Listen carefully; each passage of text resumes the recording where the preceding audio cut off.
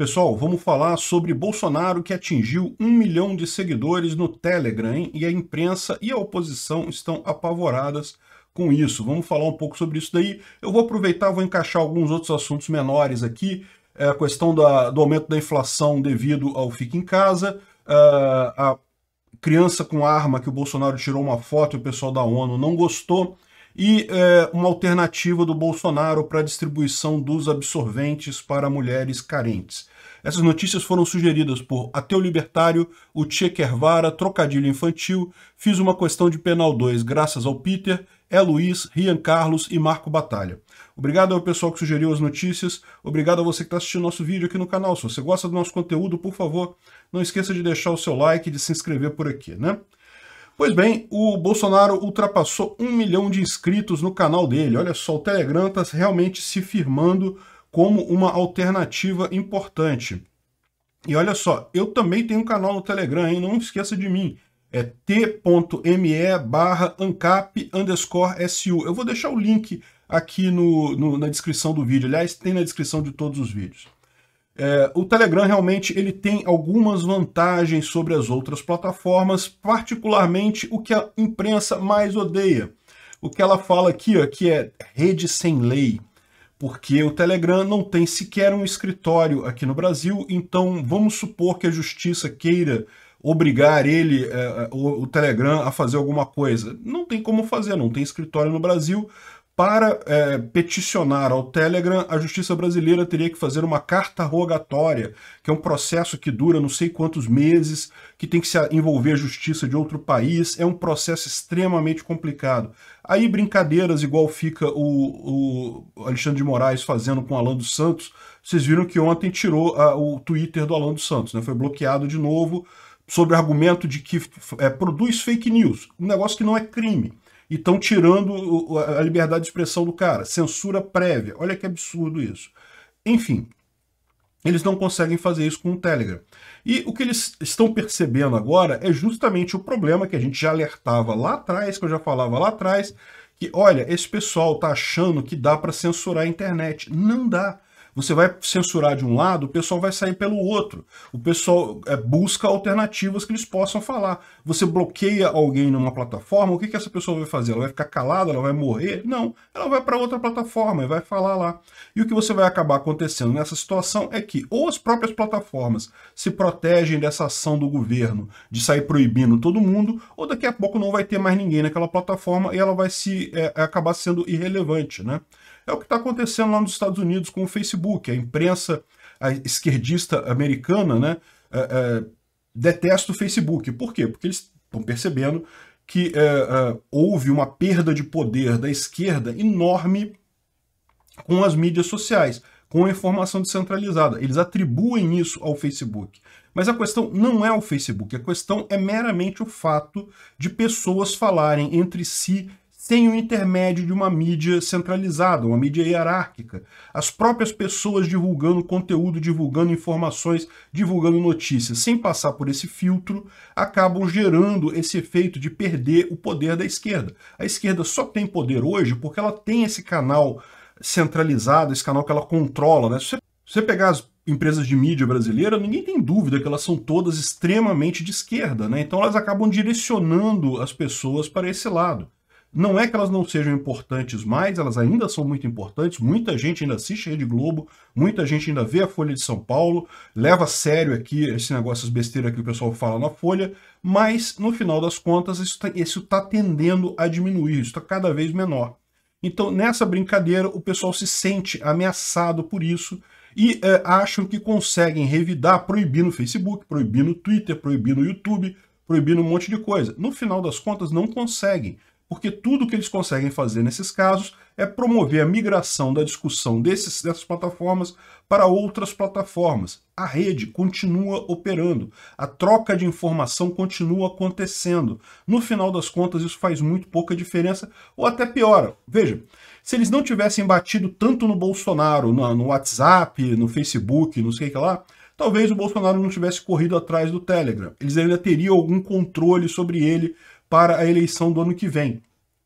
O fato é que agora eles não têm controle nenhum. O Telegram tá aí, o Telegram é, parece que o TSE tentou entrar em contato com o Telegram, o Telegram não está nem aí para isso. É lógico, eles, eles, são uma rede justamente focada em liberdade de expressão, né? E é, eles comparam aqui o canal do Bolsonaro com o do Lula, que tem 36 mil usuários só, contra um milhão do Bolsonaro. Mas o Lula que vai ganhar, tá? O Lula está na frente disparado, pode saber. É, e aí, mais do que isso, ele ganhou no único dia, naquele dia que faltou o WhatsApp, 20 mil inscritos. O Lula também ganhou muito, ganhou mil. Caramba, olha que coisa, né? E é, o que eles estão falando aqui é justamente isso, né? E cada post do canal do Bolsonaro impacta 178 mil usuários do Telegram. É muita gente, é muita gente. Pode, você pode pensar assim, caramba, mas o Brasil são 200 milhões de pessoas, é, impactar 178 mil é muito pouco, não sei o que lá. Mas, pessoal, nem a televisão consegue chegar em todo mundo. Mesmo a televisão impactar 178 mil pessoas é, é difícil. É difícil fazer isso. E é por isso que esse pessoal fica apavorado, porque o Bolsonaro tem um canal que ele consegue falar com todo mundo que eles não têm controle, que a esquerda não tem controle nenhum. Que a, a, a mídia tradicional socialista simplesmente não tem o que fazer, né? E aí eles ficam preocupados aqui, ó. Não que a penetração cresceu muito, é, não é tão popular quanto o WhatsApp, mas está se consolidando. Olha a preocupação da especialista da Folha. O Telegram guarda muitas semelhanças com o que foi o WhatsApp em 2018. Embora até terá menos impacto, porque a realidade da legislação eleitoral mudou. Mas a legislação não se impacta ao Telegram, né? E outra coisa que eles falam aqui é, é de origem, origem russa, é impenetrável, não conta com os limites implantados por outras redes. Não, Presta atenção no que, vocês estão falando, né? Porque uh, o Telegram não tem essas limitações da, da legislação eleitoral. É, essa, essa limitação que vocês colocaram vai impactar o WhatsApp, vai impactar outros candidatos, mas não o Bolsonaro, que ele está no Telegram. Pronto. Conseguiram piorar a situação.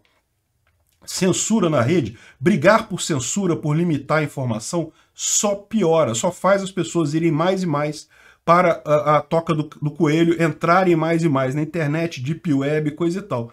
No final das contas, amigo, proibir mesmo não conseguem. O Telegram é um espaço onde qualquer conteúdo é considerado bem-vindo, onde a justiça não atua. É um lugar imune ao próprio Estado. Olha que maravilha, cara, que beleza, bicho. É, é libertário, exatamente. A internet como um todo é assim. Eles não perceberam isso. Eles acham que conseguem controlar a internet, mas a internet inteira é dessa forma. E é por isso a ferramenta está muito alinhada ao discurso do Bolsonaro de defesa absoluta da liberdade de expressão. Né? E, e, eles estão criticando a liberdade de expressão. Quem diria que um dia a gente veria jo jornalistas no Brasil contra a liberdade de expressão, né? Agora tem que prestar atenção nesse detalhe aqui, olha só. Ainda não está claro como será o comportamento do Telegram de Bolsonaro no ano que vem no contexto da campanha. O uso abertamente político da ferramenta e de outras redes sociais por ele poderá gerar ações de uso da máquina na justiça eleitoral. Da, da máquina pública, é isso? Não faz sentido isso. Veja, eles estão querendo acusar o Bolsonaro de usar a máquina pública para se eleger, porque isso é crime, tá? Isso pode gerar até a cassação da candidatura. Mas ele não está usando a máquina, ele está usando uma rede que tem aí de disseminação de informações. Repara o problema desse pessoal, repara como que eles estão querendo botar o TSE para proibir o uso político do Telegram. É isso que eles vão tentar fazer. Eles vão dizer que qualquer propaganda no Telegram é proibida e coisa e tal. Não sei se vai adiantar muita coisa, porque vamos supor que o Bolsonaro não possa fazer uso político do Telegram. O fato dele ter uma conta muito grande no Telegram é, é sinal de que vários outros influenciadores também têm contas gigantes no Telegram. E aí, isso vai mudar o que no final das contas? Né? Ou seja, é, o Bolsonaro pode ser que ele não possa falar de política na época da campanha, mas os, os outras outras pessoas, o pessoal que está com ele lá, e tem muita gente lá, vai acabar usando da mesma forma. Né? O pessoal da esquerda está fudido se eles acham que vão conseguir resolver o problema deles limitando a internet. O caminho não vai ser esse. É muito engraçado ver aqui o desespero deles. Não, legal, ele, ele levanta aquele negócio, não, porque Bolsonaro se elegeu com base em fake news de WhatsApp. Até hoje, aquele papo que já foi desmentido, que não acharam nenhuma evidência, não acharam disparo de WhatsApp de nada. Ao contrário, acharam o disparo de WhatsApp do Haddad. E, de fato, eu, eu recebi mensagem do Haddad em 2018, não recebi nenhuma do Bolsonaro. É, é, eles inventaram essa coisa de que Bolsonaro é, disparou o WhatsApp, porque não é isso. É, é, eles não entendem contra o que eles estão brigando. Não é o Bolsonaro tentando influenciar as pessoas. São as pessoas conversando entre si e trocando informações. É isso que está acontecendo. Mas eles não podem admitir isso, porque se eles admitirem isso, eles admitem que não tem o que possa ser feito, né? E, e eles querem brigar por ter mais relevância política. Eles querem não é, demonizar o cara. E é aquilo que vai acontecer. O que está acontecendo lá nos Estados Unidos também. É, é, pode ser que consigam prender Bolsonaro, proibir ele disputar eleição, esse tipo de coisa? Pode ser que consigam. O fato é, se eles acham que isso vai resolver o problema deles, eles estão enganados. O problema deles é muito mais difícil do que Trump ou Bolsonaro. É por isso que eles estão vendo essa situação do Facebook lá no, nos Estados Unidos. Agora que Trump saiu, deveria estar mais tranquilo, né? A esquerda deveria achar assim, não, pô, resolvemos o problema do Trump. Eles estão vendo que não é isso, não é o problema, não é o Trump. Como não é o Bolsonaro aqui, o problema é a informação descentralizada e distribuída. Eles querem correr atrás disso. É, não vão conseguir, não.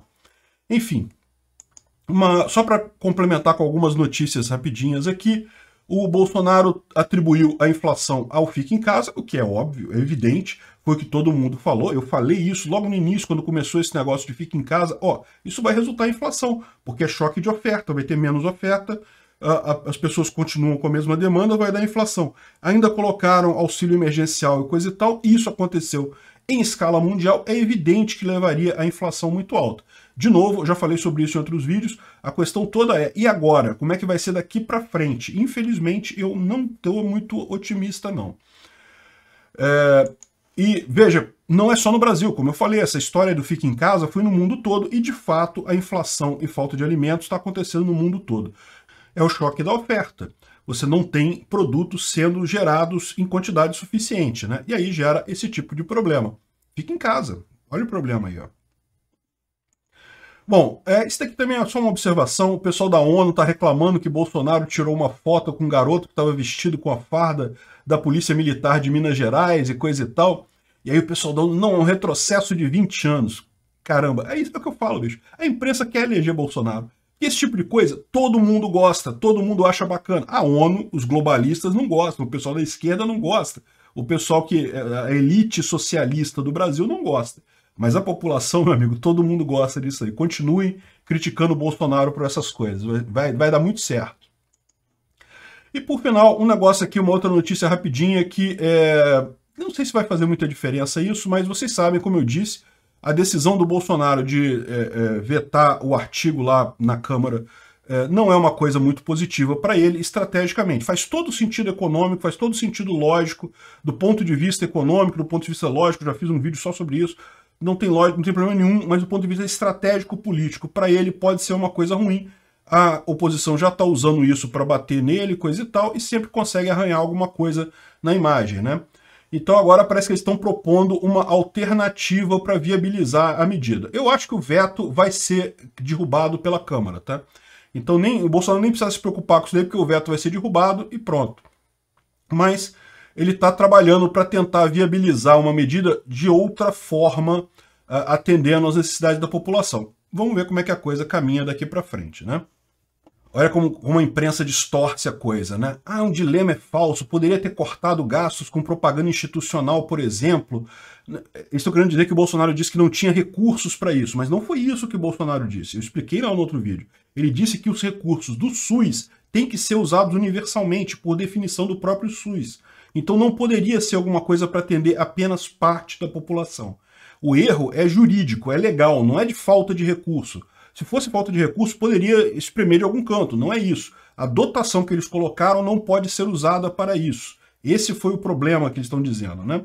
Mas é lógico, a imprensa vai explorar justamente essa falta de entendimento do pessoal. O pessoal não está sabendo exatamente por que ele bloqueou, então vão explorar isso daí para dizer que ele não, ele não quis pagar e não sei o que lá e coisa e tal. Podia diminuir a propaganda institucional, por exemplo. Obrigado por sua audiência. Se gostou do vídeo, por favor, deixe o seu like e se inscreva no canal para aumentar a relevância dele no YouTube. Assim, mais pessoas terão acesso às ideias da liberdade. Considere clicar no sininho e pedir todas as notificações para ser avisado de novos vídeos. Se quiser contribuir sugerindo notícias, vá em nosso site ancap.su, cadastre seu usuário, clique em sugerir pauta. Basta colocar o link da notícia, escolher a melhor foto e confirmar. Se quiser contribuir com o canal financeiramente, veja as formas de apoio nos links da descrição do vídeo. Contribuindo, você pode fazer parte do Discord dos patrocinadores. Se quiser camisas com a marca do canal, veja nossa loja no site pimentanocafé.com.br barra visão libertária. O link está na descrição do vídeo.